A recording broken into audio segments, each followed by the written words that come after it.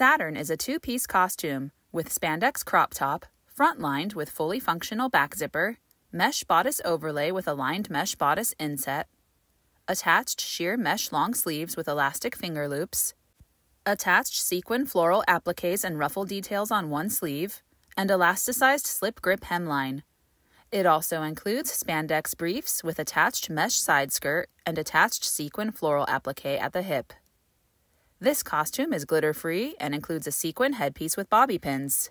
It ships on a hanger in a garment bag.